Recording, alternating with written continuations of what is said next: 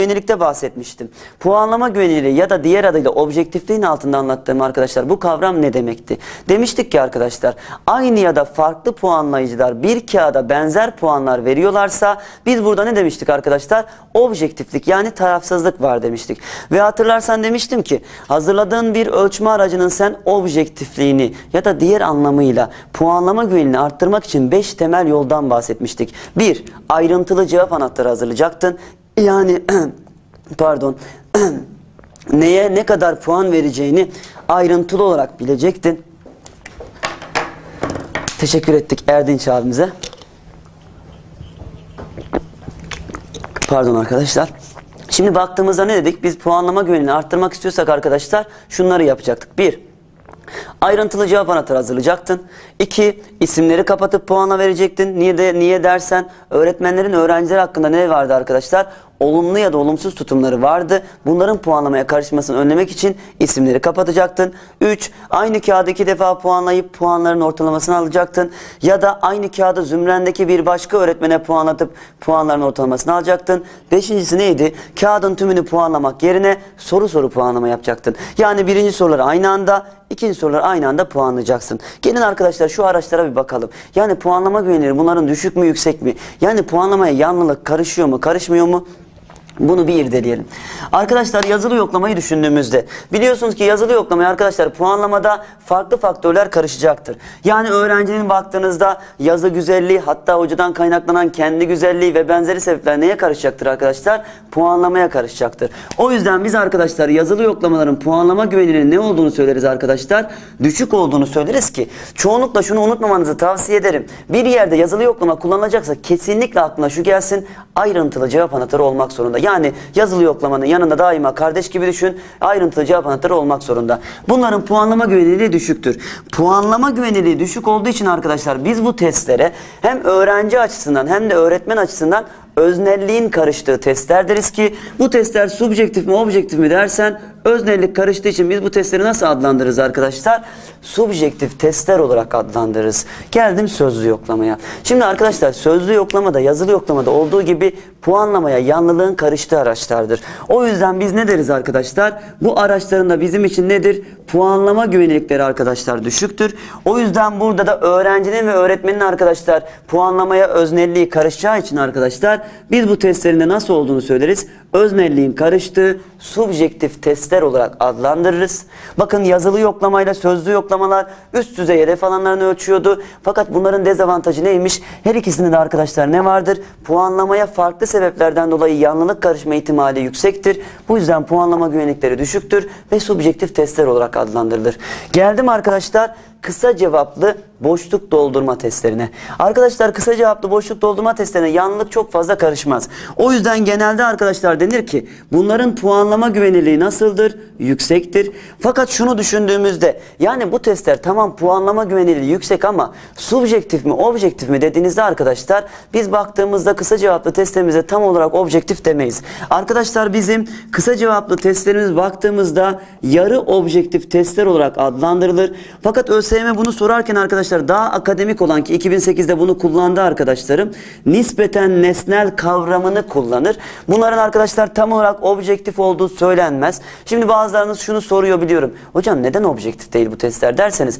Bakın kısa cevaplı testlerde cevap bir kelimeden oluşabileceği gibi kısa bir cümleden de oluşabilir. İşte arkadaşlar bu tarz durumlarda yani kısa bir cümleden oluştuğu durumlarda öğretmen cevaba yakın bir arkadaşlar metin yazdığında yanlılık katıp bunlara ne yapabiliyor arkadaşlar? Puan veriyor. Tamam bunların puanlama güvenilirliği yüksektir ama unutmuyorsun kısa cevaplı testler tam objektif testler değildir. Biz bunlar arkadaşlar nispeten nesnel testler deriz. Fakat doğru yanlış testine geldiğimizde arkadaşlar doğru yanlış testinde iki tane cevap vardır. Ya doğrudur der ya da yanlıştır der. Sen burada ne yapamazsın puanlamaya? Yanlılık katamazsın.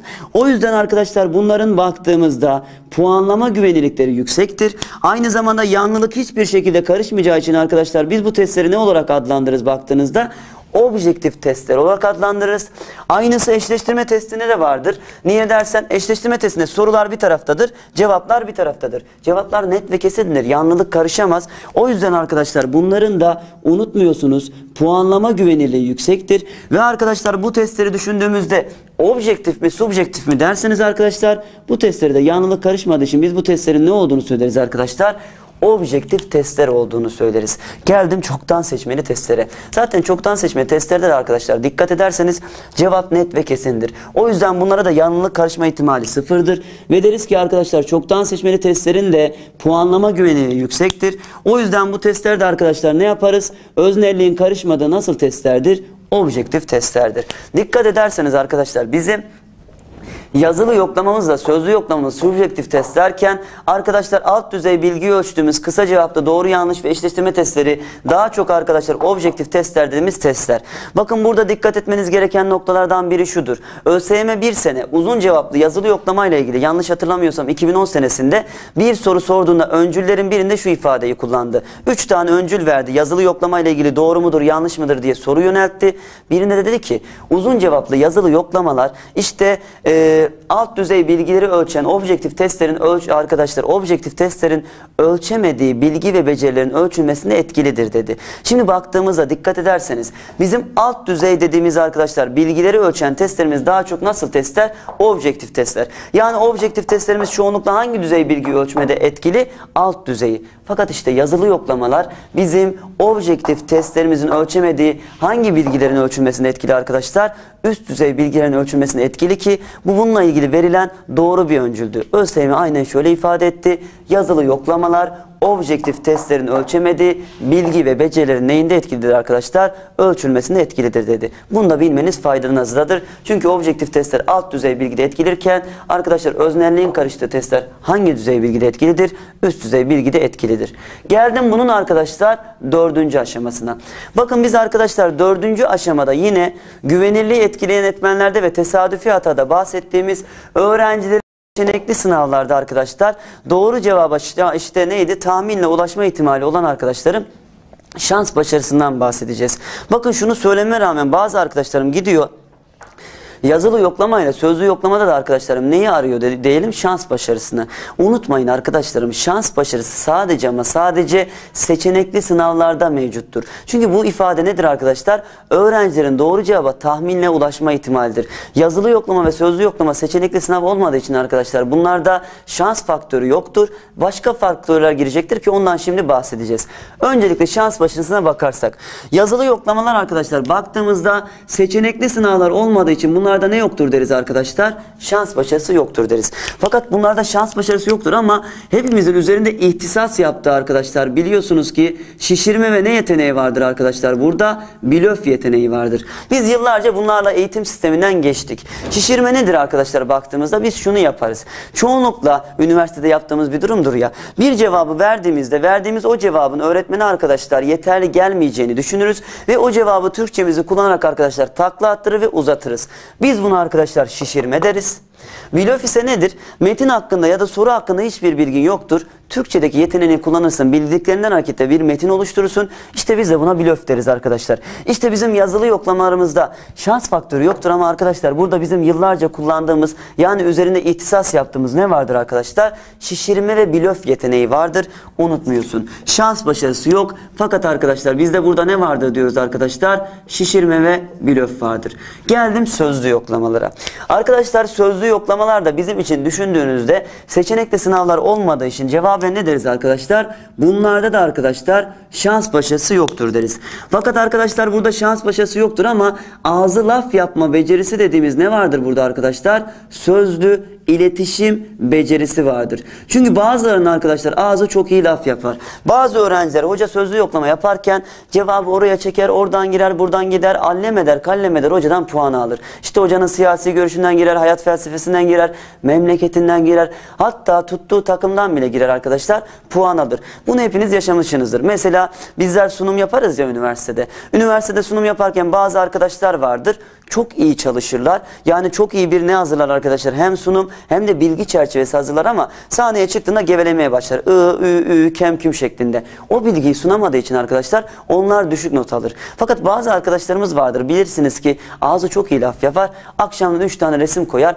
Gelir burada dolaşmaya başlar. İşte şu şöyledir, bu böyledir şeklinde oradan oraya, oradan oraya atlar. Hocalarımız çoğunlukla bunlara bilirsiniz ki hayran kalır. İşte biz buna ne deriz arkadaşlar? Sözlü iletişim becerisi deriz. Sözlü yoklamada en fazla girecek beceridir arkadaşlar. Geldim kısa cevaplı boşluk doldurma testlerine. Arkadaşlar kısa cevaplı boşluk doldurma testlerine hocalarımız çoğunlukla ne yapmıştır? Kitaptaki bir metini yanlış olmasına rağmen alırlar. Birkaç kavramı çekerler ve soruyu aynen sorarlar. Burada da seçenekli bir sınav olmadığı için arkadaşlar biz nedir deriz? Şans başarısı yoktur deriz. Ama burada da arkadaşlar ne girecektir biliyor musunuz? Burada da karşımıza arkadaşlar ezber ve hatırlama yeteneği girecektir. Niye derseniz çoğunlukla kitaptan arkadaşlar alınan bu tarz metinlerde bilen öğrenciler başarılı olmaz. Kimler başarılı olur arkadaşlar? Ezber ve hatırlama yeteneği arkadaşlar iyi olanlar başarılı olur ki unutma bu arkadaşlar bizim için aslında kısa cevaplı testlerin arkadaşlar nedir? En büyük arkadaşlar dezavantajıdır. Çünkü bu tamamen öğrenciyi neye yöneltir arkadaşlar? ezber ve hatırlama yöneltir. Bu da bilmeniz gereken bir faktördür. Geldim arkadaşlar doğru yanlış testine. Şimdi bir doğru yanlış testi için şans başarısı var mıdır yok mudur diye sormak doğru yanlış testine hakaret olacaktır. İki tane seçenek var. Ya doğru diyecek ya da yanlış diyecek. Yani şans başarısı nedir arkadaşlar? Yüzde ellidir. O yüzden deriz ki evet doğru yanlış testlerinde ne vardır? Şans başarısı vardır. Hatta deriz ki arkadaşlar şans başarısı en yüksek doğru yanlış testlerindedir. Çünkü yüzde ellilik bir şans başarısı vardır. Peki önlemek için ne yapacaksınız? Arkadaşlar şans başarısı önlemenin hatırlarsanız en etkili yolu tüm sınavlarda kullanabildiğin ne kullanacaktın? Düzeltme formülü kullanacaktın. Yani şu kadar yanlışın şu kadar doğrunu götürür şeklinde ifadeler kullanacaktın. En etkili yolu budur. Fakat biraz daha vicdansız bir hocaysan doğru yanlış testlerinde şans başarısını önlemek istiyorsan bir de öğrenciden ne istersin biliyor musun? Açıklama istersin. Bunda da mantık şudur. Yanlışsa doğrusunu yaz ya da yanlışın altını çiz dersiniz. Yani unutmuyorsunuz arkadaşlarım. Bizim doğru yanlış testlerimiz şans başarısının en yüksek olduğu yani %50 şans başarısının olduğu testlerdir. Bu testlerde şans başarısını önlemenin en etkili iki tane yolu vardır. Birkaç yöntemi daha vardır ama en fazla duyacağınız budur. Birincisi tüm testlerde kullanabildiğin en etkili yöntem düzeltme formülüdür. Şu kadar yanlışın bu kadar doğrunu götürecek diyeceksin. İkincisi nedir arkadaşlar? Açıklama isteyeceksiniz. Ne diyeceksiniz? Yanlışsa doğrusunu yaz ya da yanlışın altını çiz şeklinde. Geldim arkadaşlar bundan sonraki testimiz eşleştirme testlerine. Bakın arkadaşlar eşleştirme testlerinde de biliyorsunuz ki seçenek vardır. Seçenek olduğu için ne deriz arkadaşlar? Bunlarda da şans başarısı vardır. Bunlarda peki şans başarısını nasıl önleyeceksin? Şimdi hatırlarsanız eşleştirme testleri nasıldı arkadaşlar? Bir tarafta sorular verilirdi. Bir tarafta da neler verildi arkadaşlar? Cevaplar verilirdi. Evet burada da düzeltme formülü kullanabilirsin. Çünkü düzeltme formülü tüm testlerde kullanılabilir ama ben buraya özel olanları yazacağım arkadaşlar. Unutmuyorsunuz bir eşleştirme testinde bir tarafta sorular bir tarafta cevaplar vardır ya. Daima arkadaşlar eşleştirme testinde şans başarısını önlemek istiyorsanız arkadaşlarım unutmayın verdiğiniz arkadaşlar cevap sayısı neden fazla olmalıdır arkadaşlar? Soru sayısından fazla olmalıdır. Şans başarısını önlemek istiyorsanız birinci yol cevap sayısı soru sayısından fazla olacak. İkinci yolumuz ise arkadaşlar unutmuyorsunuz. Eğer eşleştirme testi hazırlıyorsan sorular ve cevaplar arkadaşlar ne olmalıdır biliyor musunuz? Tek boyutlu olmalıdır. Ne demektir tek boyutlu olmalıdır derseniz arkadaşlar aynı konudan olmalıdır. Aynı kapsamdan olmalıdır. Bakın dikkat ederseniz arkadaşlar eşleştirme testinde sorular bir tarafta cevaplar bir tarafta. Bazı öğrencilerimiz o kadar kurnazdır ki arkadaşlar bizim eleme yöntemi dediğimiz yöntemi kullanırlar. Gelirler tek tek bunun bu konuyla alakası yok derler eleme yaparlar. İşte bunu önlemek istiyorsanız arkadaşlar burada yapılması gereken nedir? Sorular ve cevaplar arkadaşlar unutmuyorsunuz tek boyutlu olacak. Eşleştirme testinde de arkadaşlar şans başarısı önlemenin en özel yolları budur. Fakat burada da düzeltme formülü kullanabilirsin. Unutmuyorsun. Geldim çoktan seçmeli testlere. Arkadaşlar çoktan seçmeli testlerde biliyorsunuz ki seçenekli sınavlar olduğu için arkadaşlar burada da ne vardır baktığınızda şans başarısı vardır. İşte arkadaşlar burada da şans başarısını önlemek istiyorsanız en etkili yollardan biri tüm testlerde karşımıza çıkan nedir arkadaşlar baktığınızda düzeltme formülü kullanacaksınız. Hani 4 yanlışın bir doğrunu götürür şeklinde. Hatırlarsanız ben size güvenilirliği belirleme yöntemlerinde ya da güvenilirliği etkileyen yöntemlerde bahsetmiştim. Biz düzeltme formülünü nasıl belirlerdik arkadaşlar? Seçenek sayısının bir eksiğine göre belirlerdik. Örneğin 5 seçenekli bir sınavda ne diyordun? 4 yanlışın bir doğrunu götürür. Veya 4 seçenekli bir sınavda ne dersin? 3 yanlışın bir doğrunu götürür şeklinde seçenek sayısının bir eksiğine göre belirlersin. Yani çoktan seçmeli testlerde şans başarısını önlemenin bir yolu düzeltme formülüdür. Arkadaşlarım ikinci yolu ise baktığınızda nedir arkadaşlar? Seçenek sayısını ne yapacaksınız? Arttıracaksınız. Seçenek sayısı arttırılır. Zaten hatırlarsanız nedir? 5 seçenekli bir sınavda öğrencinin sallama ihtimali yani şans başarısı arkadaşlar %20 iken 4 seçenekli bir sınavda arkadaşlar baktığınızda bu ne olur? %25 olur. O yüzden seçenek sayısı arttırıldığında şans başarısı ne yapmaya başlar arkadaşlar? Düşmeye başlar. Bakın burada ne açıdan inceledik? Bizim soruyu tahminle bulma ihtimali dediğimiz şans başarısını irdeledik. Tekrar söylüyorum unutmuyorsun. Seçeneksiz sınavlarda şans başarısından bahsedemezsin. Burada farklı kavramlar işin içine girer. Şans başarısı sadece hangi sınavlarda mevcuttur arkadaşlar? Seçenekli sınavlarda mevcuttur. Bu da arkadaşlar baktığımızda bizim dördüncü aşamamızdı. Geldik 5. aşamaya. Şimdi arkadaşlar 5. aşamada biz güvenirlik ve geçerlik kavramlarından bahsedeceğiz. Güvenirlik ve geçerlik kavramlarını da arkadaşlar irdelerken unutmayın temel mantığınız iki şeye bakmak olacak. Sorularda arkadaşlar siz güvenirliğini ve geçerliliğini yorumlayacaksanız bunlardan biri arkadaşlar o testin soru sayısına bakacaksınız. Biri de arkadaşlar neye bakacaksınız biliyor musunuz? Puanlama güvenirliğine bakacaksınız. Zaten bu iki kavram size o ölçme aracının arkadaşlarım güvenirliği ve geçerli hakkında bilgi verecektir. Nasıl derseniz biz arkadaşlar soru sayısına baktığımızda aslında iki bilgiye ulaşırız. Bunlardan bir arkadaşlar soru sayısı bana ölçme aracının unutmayın kapsam geçerli hakkında bilgi verebilir. Aynı zamanda soru sayısı arkadaşlar bu ölçme aracının bana neyi hakkında bilgi verir arkadaşlar? Duyarlılığı hakkında bilgi verir. Zaten biliyorsunuz ki arkadaşlar puanlama güvenilirliği de o ölçme aracının neyi hakkında bilgi verirdi arkadaşlar? Objektifliği hakkında bilgi verir. Yani kısaca unutmuyorsun klasik geleneksel ölçme değerlendirme araçlarının güvenirliğini ve geçerliliğini yorumlayacaksan iki temel kıstasın var.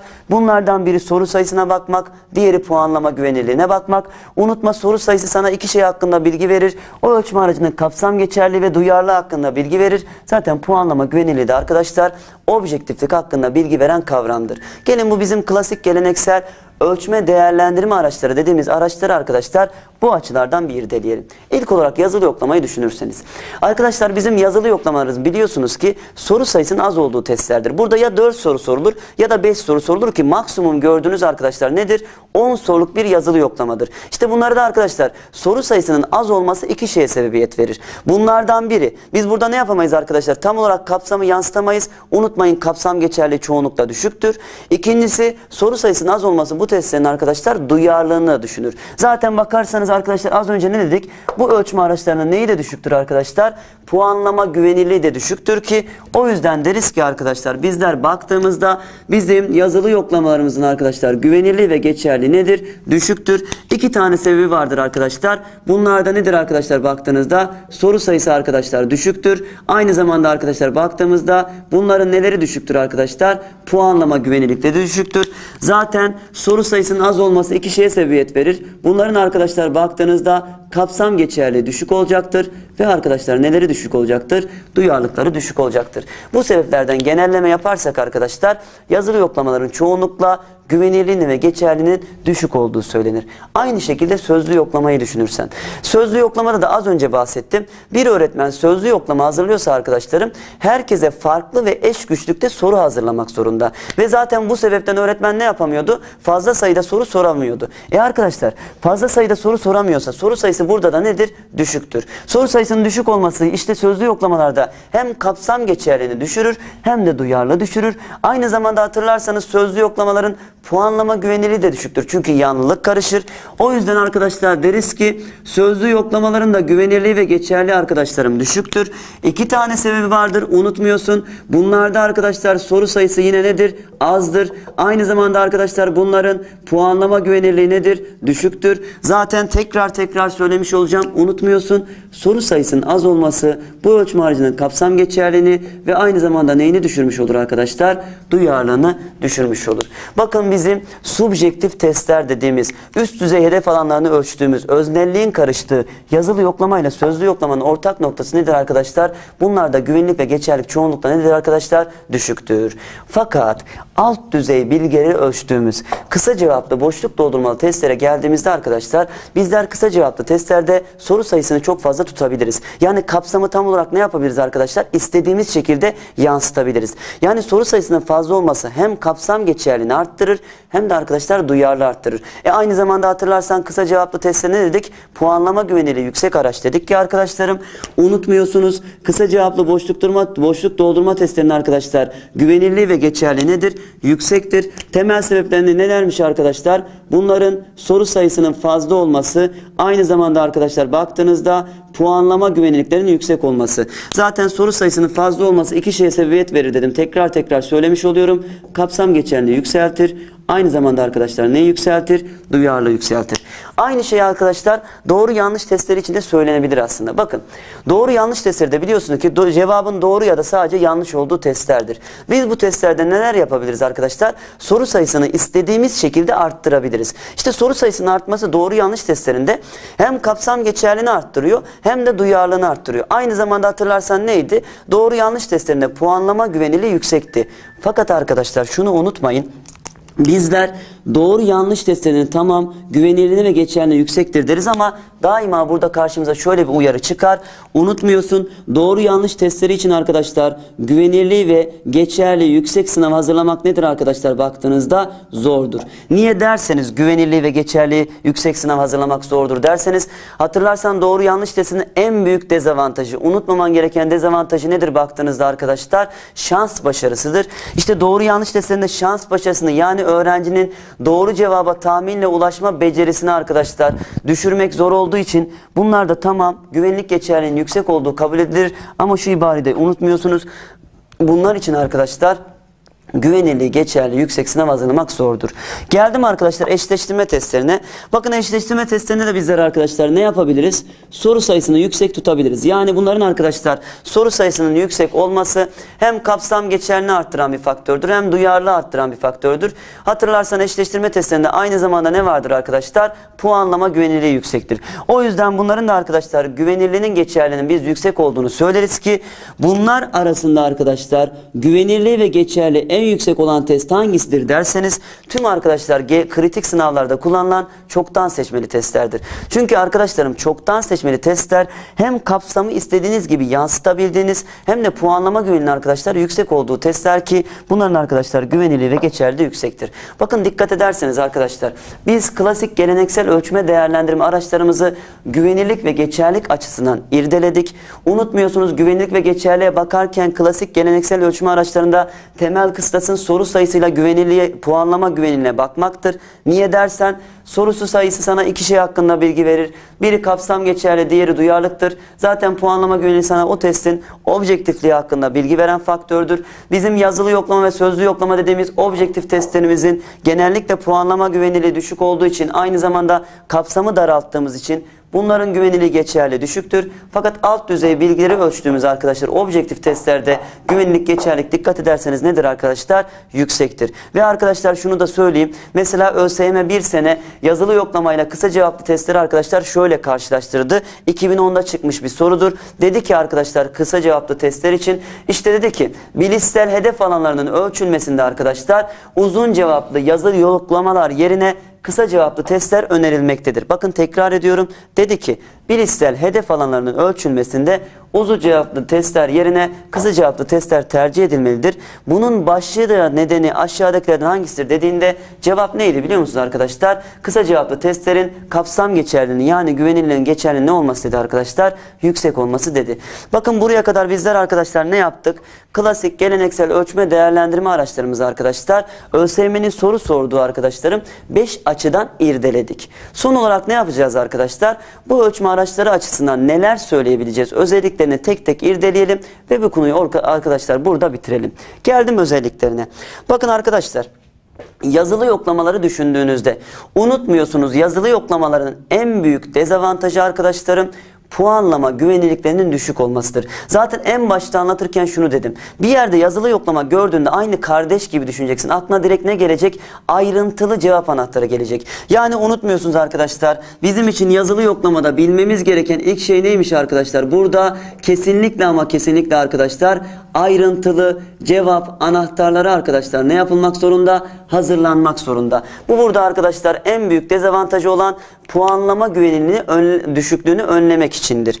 İkinci olarak bilmen gereken unutmuyorsunuz arkadaşlarım. Bizde yazılı yoklama kullanıyorsak kesinlikle ama kesinlikle arkadaşlar seçimlik ve ön koşullu soru arkadaşlar ne yapmayacaksınız? Kullanmayacaksınız. Şimdi nedir seçimlik ve ön koşullu soru? Arkadaşlar seçimlik soru şudur. Bazen hocalarımız ne yapar? 10 sorudan istediğiniz 6 tanesini cevaplayın der. Bu tarz sorular arkadaşlar seçimlik sorudur. Ön koşullu sorular ise daha çok arkadaşlar sayısal ve mühendislik branşlarında kullanılır. Birinci sorunun cevabını bulamadan neye geçemezsin? İkinci soruya geçemezsin.